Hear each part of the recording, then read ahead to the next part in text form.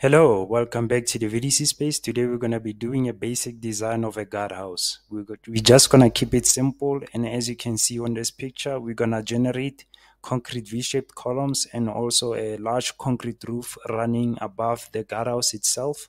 And then we're going to add some families like turnstiles and barriers in order for us to add context to our entrance. Now, without further ado, let's jump into Revit. So here we are in Revit 23. So I'm gonna open up the new construction template.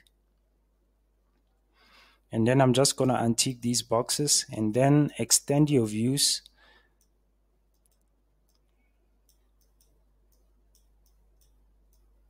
after extending your views make sure you click on them and then you extend the the reference so that you can see anything that you model right in the middle.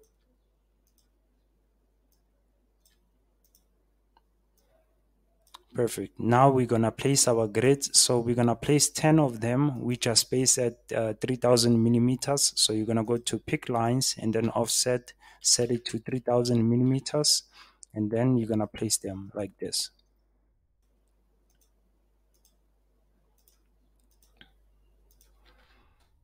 I'm just gonna center them like this and then I'm gonna pick my grids again and then I'm gonna place the ones that are running across and then double click on here and rename this to A go to grid again pick lines and then uh, 2500 millimeter offset and then I'm gonna place two more like this. And then we're gonna model our guardhouse between grid 6 and 7 and then in order for us to do that, uh, we're going to use, I want us to use the structural uh, plan instead of the architectural floor plan. Uh, but before that, we're going to have to go to the south elevation and then extend the levels in our grids. So we're going to set this one to 3000 millimeters and then add another level, which is set at uh, 6000 millimeters and then this one we're gonna rename it to 00 dash foundation. Enter. And then this one is gonna be 01 dash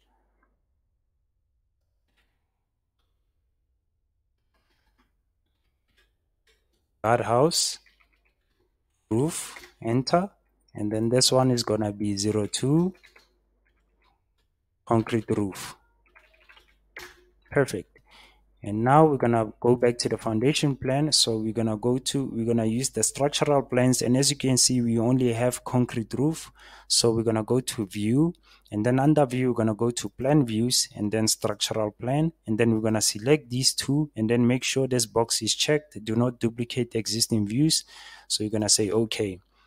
And now we're gonna use the foundation structural plan in order for us to model everything so between grade 6, 6 and 7, we're going to place our guardhouse. So we're going to go to architecture and then under wall, we're going to drop down and then we're to choose this one, wall retaining 300 concrete. It's easier to, uh, to edit. And then the top constraint, we're to set it to guardhouse roof. And then the base offset, we're to set it to minus 500 millimeters. So we're to select a rectangle and then between grid 6 and 7 we're going to place our rectangle like this. Perfect. And now we're going to select our wall go to edit type duplicate and rename it to 230 millimeter brickwork. Okay and then go to edit and then set the thickness to 230 and then the material we're going to type in brick. And then we're going to drop down and load in exposed masonry and say apply okay and then okay apply okay go to your 3d uh, view. So you're gonna set this to realistic and this is what we have. So go back to your foundation plan. We're gonna add strip footing under the walls. So you're gonna go to structure. Under foundation you're gonna choose wall. Edit type duplicate 900 by 300 millimeter SF for strip footing okay?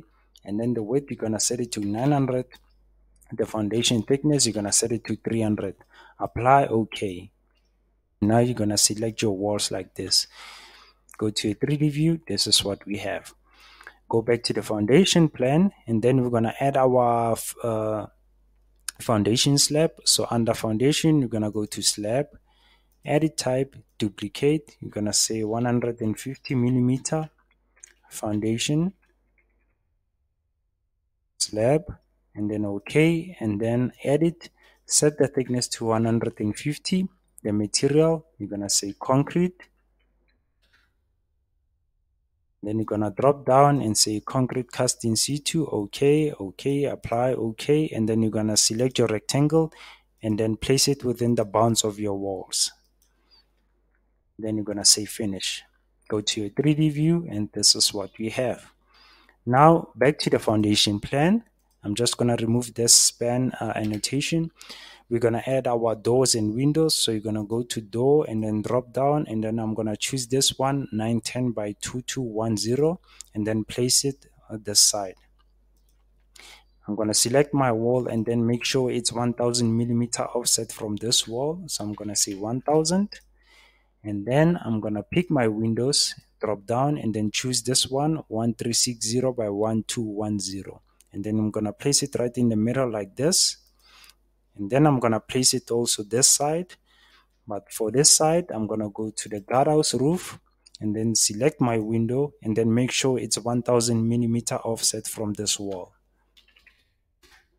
Go to the 3d view and this is what we have now we are almost done so we're gonna have to place a concrete roof on top of this guardhouse. So in order for us to do that we're gonna go to the guardhouse roof and then we're gonna go to structure.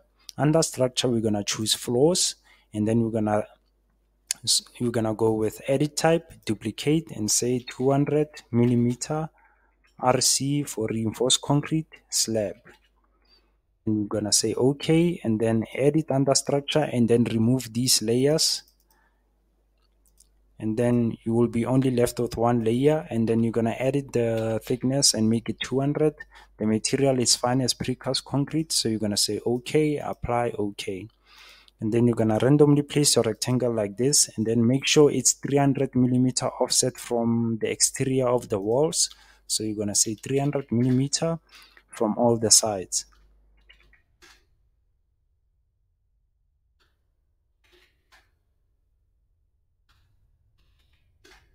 Perfect. Now we're going to make this concrete roof slope towards that direction. So we're going to select slope arrow and then place it right in the middle like this and make sure the arrow is facing upwards in this context, in this uh, view. So we're going to select the arrow and then we're going to change the under constraints. We're going to change the specify from height at tail to slope. And then the slope, we're going to set it to minus five degrees and then we're gonna say finish edit mode and say attach. Go to the 3d view and as you can see this is what we have. We are basically done with our with our guardhouse. The next step is you're gonna go back to the foundation plan and then we're gonna add concrete bases for our v-shaped roofs.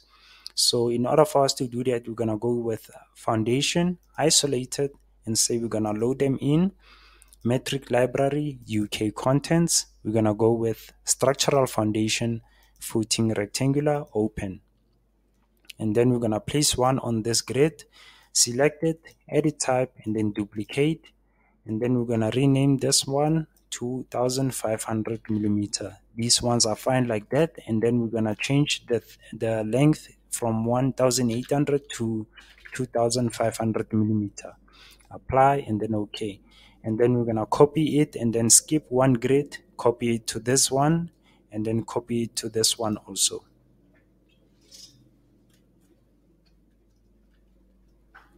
And then you're gonna copy it to this grid and then the last one also. Perfect. Now go to your 3d view. This is what you have. Now you're gonna select your concrete bases and then you're gonna offset them. Height height offset from level you're gonna set it to minus 500 millimeters. And now we're gonna generate our v-shaped columns that are gonna support the concrete roof that's running above everything. So we're gonna go back to the foundation plan go to file new family and then you're gonna drop down and say metric structural column open. And then the width you're gonna set it to 2500 actually 1200 millimeters and then the depth is fine at at uh, 500 millimeter. Go to the front elevation set the upper reference level to 6000 millimeters enter and then you're gonna place your extrusion. Go to create extrusion and then you're gonna place a horizontal line from this reference plane to this one and then draw a diagonal line to the top until you meet the upper reference level and then make sure the angle is set at 60 degrees and then you're going to take it to the left by 1200 and then take it downwards diagonally until you meet the middle reference plane. Press escape select these three lines go to mirror pick axis pick the middle reference plane and then everything is copied to the other side. Finish and then go to the floor plan lower reference level drag your extrusion to the reference uh, planes until and then lock it. Drag it to this side and then lock it. Open up the 3d view and this is what you have. So you can select your column apply the material to this. You're gonna say concrete. And then you're gonna drop down and then set it to concrete precast load it in apply okay and now when you change the level of detail as you can see this is what you have. So you're gonna load it in into your project and close. I'm not gonna save this i already did. So this is what we have. Go back to your foundation plan. Under structure go to column. Set the column to vertical column and your constraints are set to height and then your top level is set to concrete roof. To change its orientation, you're gonna press space bar and then you're gonna set the orientation like this and then place it on top of your bases.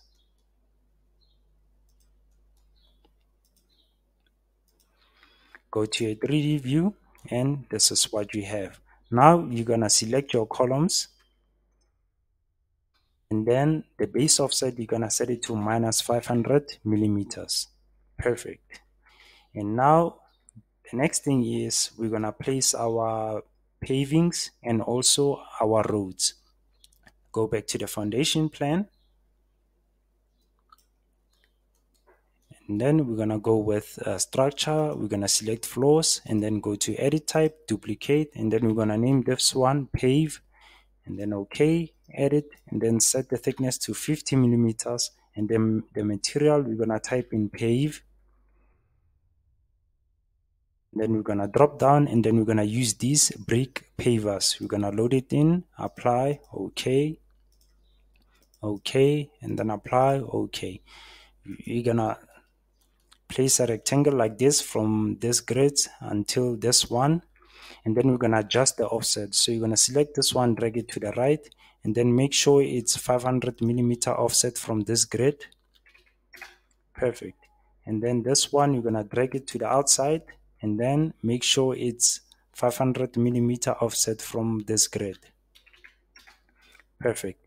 And then we're gonna drag these ones uh, like this and then we're gonna select it and then make sure from this grid is 2000 millimeter offset same thing this side and then make sure it's 2000 millimeter offset from this grid. Perfect. And now we're going to add another ones. So you're going to select the rectangle and then place them randomly uh, around these uh, columns and bases. So this one we're going to adjust it. So from from this grid we're going to set it to 500 and then this one also this side we're going to set it to 500 and then we're going to apply we're gonna say fillet arc we're gonna apply the fillet here and then we're gonna make it 300 millimeters. Perfect. So we're gonna check this radius and then make sure it's set at 300 millimeters and then select these two these two lines to apply the fillet and then this side we're gonna apply the fillet this side.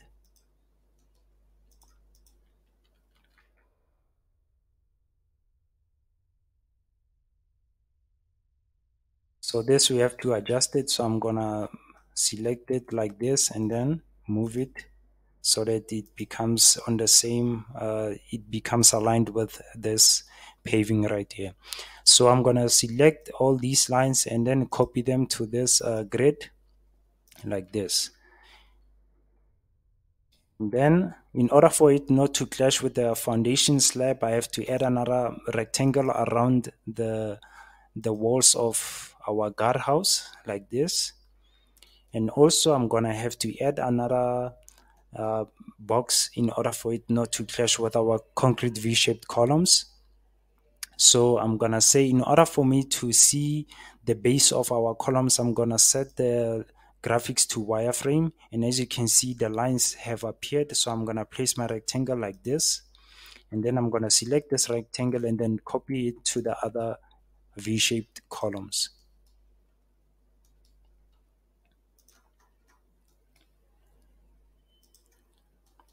Perfect. So the next thing is I'm gonna extend this paving and then take it to the outside of this of this uh, V-shaped column so I'm to make it a thousand and I think it's fine like that. then say finish, go to the 3D view and this is what we have.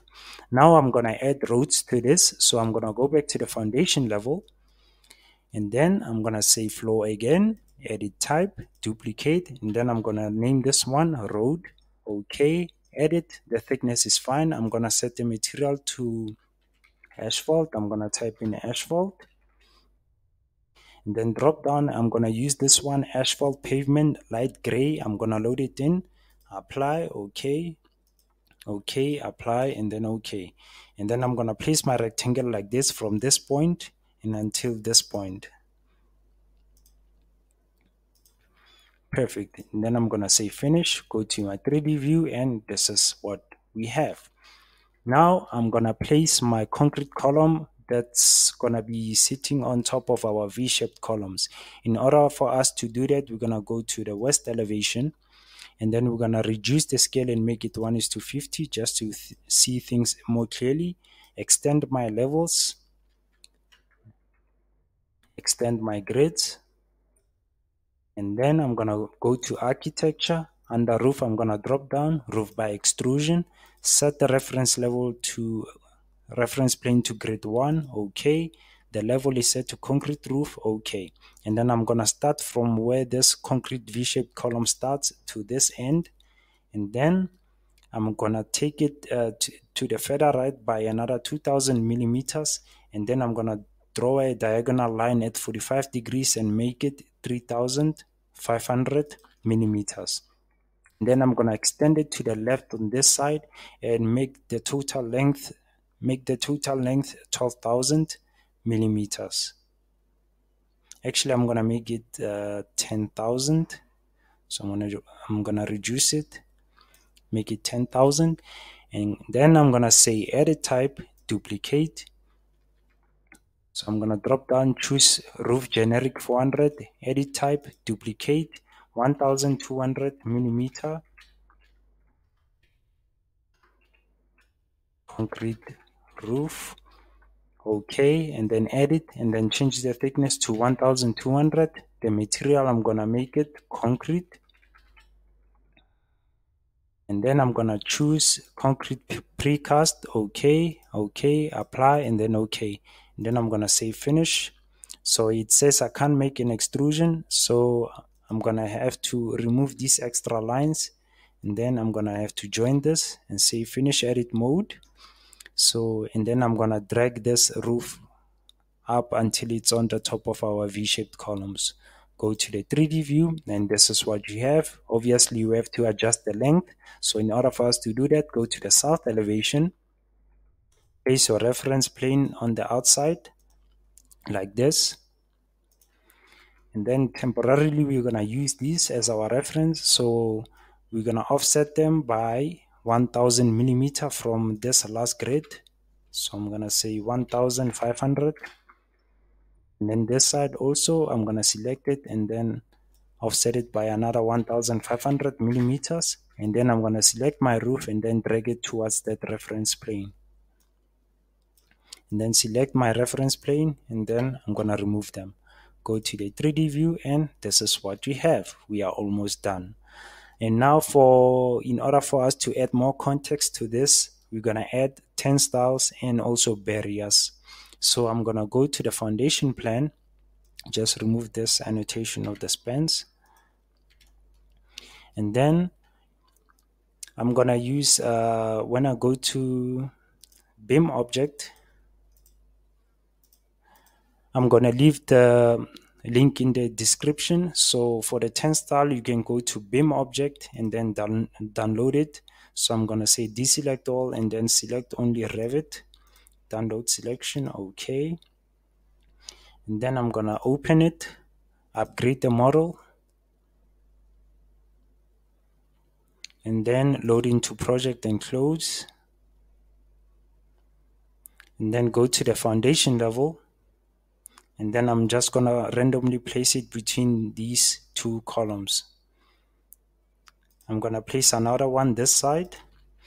And then I'm gonna select my turnstile and make sure it's 200 millimeter offset from this grid. So this one I'm gonna select it. And then I'm gonna make sure it's it's 200 millimeter offset from this grid. So I'm gonna say 200 millimeters. Perfect and now I'm gonna add my barriers on this side. So I'm gonna go back to BIM object. And then this is our magnetic access or barrier. So I'm gonna say download. Deselect all. And then I'm only gonna select Revit download. And then I'm gonna say open. Upgrade the model because it's from 2020 and then I'm gonna load into project and close go back to the foundation plan and then I'm gonna press the spacebar to change its orientation and then I'm gonna use this this grid as my reference and then I'm gonna place it like this. Select my axis and then change the barrier length to 3000 millimeters. And I'm just gonna make it uh, 4000 actually. And then I'm gonna copy it. So I'm gonna say copy and then from this grid I'm gonna copy to this grid and go to your 3D view, this is what we have. And now we have to we have to close and not make access for anyone else. So we're gonna add fencing here, but we're gonna use a basic railing for this. So go to the foundation plan. And under our foundation plan, I'm gonna go with railing. And then I'm gonna go with 1100 millimeter and then go and say edit, duplicate. I'm not gonna rename this, so okay baluster placement, I'm going to say edit and then set the distance from previous to 150, apply, okay, and then set the height to 2000 millimeters. Apply, okay, and then I'm, I'm going to place it right in the middle from this column to the outside of this wall. Then I'm going to say finish. I'm going to do the same thing this side, go to railing, and then from this wall to this column, I'm going to place it like that and say finish go to the 3D view and this is what we have. And now I'm to place one between our turnstiles. So go to the foundation plan and then I'm to say railing again. And then from our turnstile to turnstile, I'm going to place it like this and say finish edit mode, go to the 3D view and this is what we have.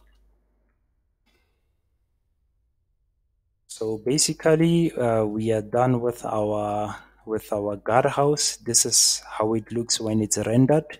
So yeah, I think you guys. Um, uh, I hope you guys have learned something and how you can approach these uh, types of uh, structures. Uh, try to keep it as basic as I could. So uh, thank you for watching. Uh, please like and subscribe. And I hope you guys, I hope I can see you guys on the next tutorial. Peace.